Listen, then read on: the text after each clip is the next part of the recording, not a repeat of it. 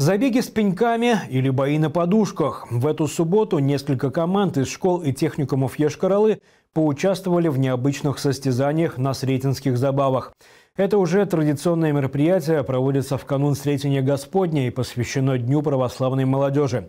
Какие испытания проходили гости праздника в Цельбекокшайском Кремле, увидела Марина Пушкарева.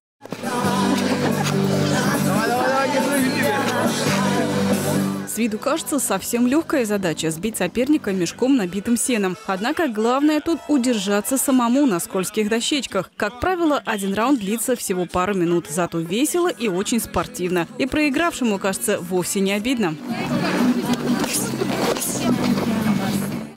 Кулачный бой – еще одна древнерусская забава. Именно забава их устраивали часто на Масленицу, а соперники, хотя и демонстрировали всю силу и удаль, дрались все же со всем уважением к сопернику. Былые народные традиции сегодня повторяют современные добрые молодцы. В срединских забавах принимали участие 8 команд, учащихся из образовательных учреждений и молодежных объединений. Каждая команда проходила около десятка разных состязаний на скорость и ловкость, как в забеге с тяжелыми пеньками по 20 килограммов, на силу и стойкость, как в соревновании по перетягиванию каната.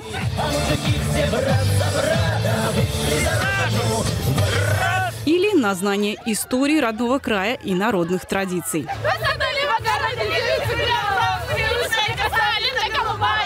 Этот молодежный праздник проводится в рамках проекта «Память предков великих будем достойны». И уже не первый год собирают сотни участников. Так, по-молодежному он прививает любовь к своим традициям и правильным духовным ценностям, воспитывает патриотизм.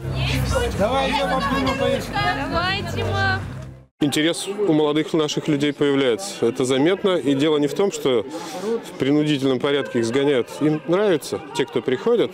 И действительно интерес, потому что сейчас у нас и вообще в целом интерес к истории, к нашей, патриотическому воспитанию появился. И очень отрадно видеть радостные лица нашей молодежи. Ведь мы праздник День молодежи православный встречаем в праздник Сретения, когда старец Симеон проживший 300 лет, на руки свои принял маленького Иисуса Христа. То есть старая, старость встречается с молодостью.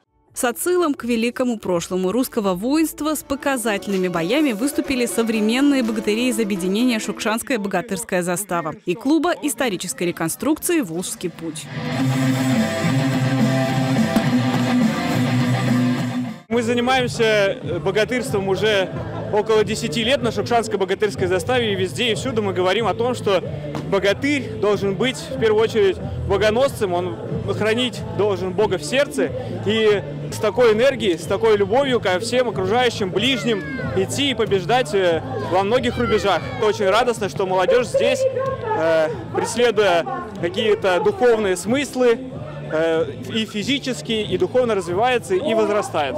Сретенские забавы – это, конечно, не только состязание, но прежде всего праздник, на котором от души повеселиться могли все желающие. Хороводы, бег на колотушках или штурм Снежной горы. Развлечения на любой вкус. Согреться в этот морозный день можно было не только поучаствовав в народных забавах, но и выпив горячего чая прямо из самовара. Его приготовили из иван-чая с добавлением трав. Спасибо. Очень вкусный, кстати. И угощение, и веселье для души, но главная атмосфера действительно народного праздника. Многие узнали для себя что-то новое о народных традициях и своих корнях, почувствовали единение и гордость за своих предков и славную историю страны.